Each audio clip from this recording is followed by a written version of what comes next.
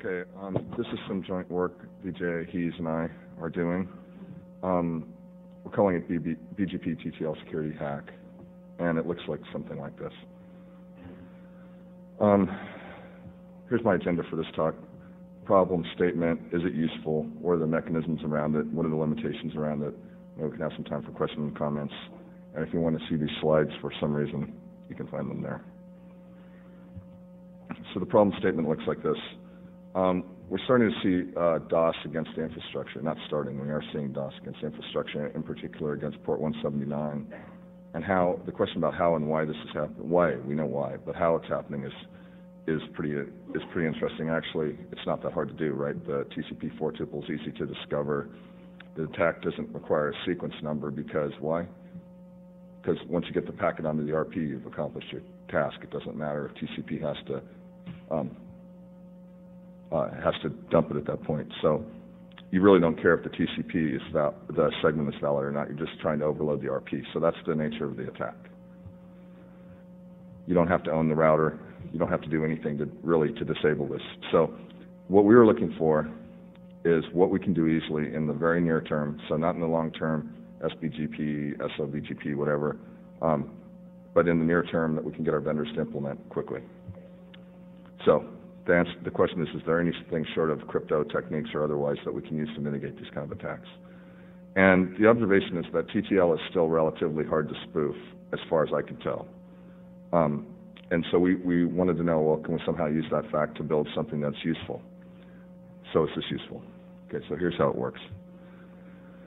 Well, since the vast majority of eBGP peerings are, are between adjacent routers, there are some multi-hop, but they're mostly between adjacent routers, and especially the ones we're caring about right now. Um, why not just set the uh, TTL on, on BGP packets to 255 and then just reject any of them that don't come from a TTL in the range 255 to 254? The reason, the reason for the range is because implementations treat, treat, treat what they do with the TTL on the directly connected network differently. It can be one or the other depending on the vendor.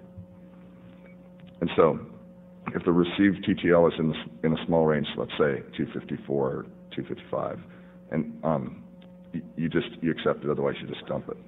That's the whole thing. And you know, you might ask why wasn't this done in the first place? And maybe somebody out there knows. I don't know the answer to that. Seems kind of obvious now, of course, given hindsight. So somebody asked me last time I talked about this is why not just set TTL equal to 1 and let uh, TTL 0 do the discard that it will normally do.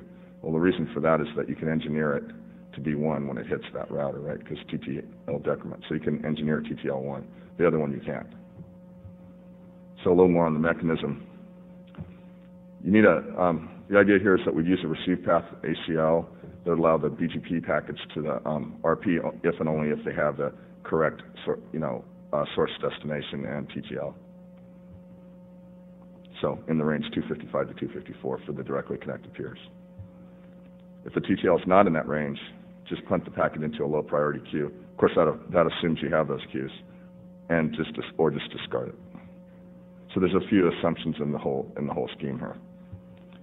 One is that the, um, excuse me. One is that the uh, peerings are between adjacent routers. I think that one holds up okay. Um, this one's a little harder. Um, it is common practice or should be common practice to ingress filter that have the provider's loopback addresses as the source of the IP address. That, that probably should be best practice, but it's, I'm not sure that's too widely implemented. Um, also, we're going to have to, we need to assume that the use of this mechanism, if we ever get it, is um, optional, and we can do it on a per peer group or per peer basis, and that the router supports a method for classifying traffic, i.e. priority queues. Both peer routers would have to implement this to be for it to work. That's pretty clear. So there's a there's some there's some serious limitations with this. Basically, it, it's kind of designed to protect the single hop session, um, except of course in those cases where the peer is owned, then you have to shut it down anyway. Uh, for not, for multi-hop sessions like IBGP and uh, multi-hop eBGP, it's less you kind of trade off flexibility in the topology for the power of the technique. That's what you're kind of doing.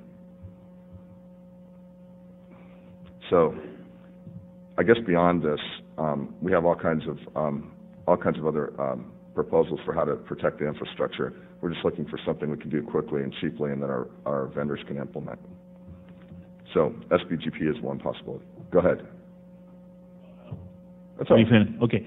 Uh, For, um, for multi-hop BGP, for, for IBGP, uh, could we extend this so that instead of actually running a, multi-hop BGP session, run it over a GRE, uh, GRE tunnel, in which case, after the thing gets decapsulated, still uh, TTL of 255? Yeah, you could do that. The other, the other possibility is to just allow some kind of configuration where you can, you, you know something about your topology, so you know something about the received, the value or the range that the received TTL should be in. So basically, that would give you some flexibility, but at the same time, it would reduce your ability to protect against other kinds of attacks, because this Right. weakens the Where- methodology. Whereas the, the, the, the GRE tunnel is there and that all, all routers support it and, Yeah, you know, there's, gotcha. it doesn't require crypto. But, but you can just spoof the GRE if you just put the TTL 255 packet inside, and there's no checking on the, on the GRE packet, then it's, uh, Right. you haven't solved anything. Yep. You, you need, you need I to, guess. you need to have, you need to have the one hop thing there to get it. Go ahead.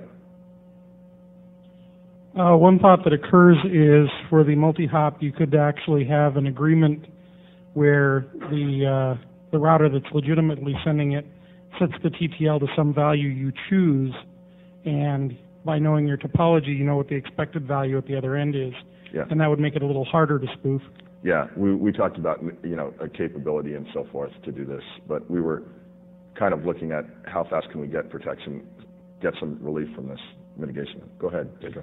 Um, so I see a bit of a problem on, on eBGP doing having a 255 to 254 allowed values because on eBGP you really want to make sure that those packets cannot get rerouted through an alternate path, while vice versa on IBGP you want to make sure that they can. So Right? I'm You, you if you can't if you can't really nail it down to a single value that guarantees there guarantees that the packet is actually staying on that link because eBGP sort of has a, a, a needs to have a link correspondence. right, this, this, this kind of, um, this kind of corresponds to disabling the directly connected check. That's what you're saying. Um, that's what I'm saying, and yeah. that's something that has a Yeah, so you- significant cost. Yeah, so you, you have to, what you have to do is you have to make the trade-off, right? I mean, Uh, but then you'd need to you need to really think you you need to really think about what the implications of data are and mhm. potentially um, try to achieve to achieve that check some other way. Right. Me just keep going here a second. Oh, okay, so that's all I have. Um, and I already got questions and comments. One thing I did want to say is, um, I was trying to, um, we tried to find a home for this in the IETF, and IDR is not taking new work items, and we thought PTOMAINE was the right place, but PTOMAINE is kind of crumbling, so, we're t- pardon me? RPSec really isn't the right place for operational kind of, um, things like this. We don't have anything, we really don't have a BGP ops or a global routing ops, so what, so what we're doing is we're going to hold a BOF. I was calling it GROW because I was trying to find an acronym that was kind of cute. But um, uh, this will be on uh, Tuesday, IETF week, and please, if you have input for this, come along and help us out. See if we can make something reasonable out of it. That's all I have.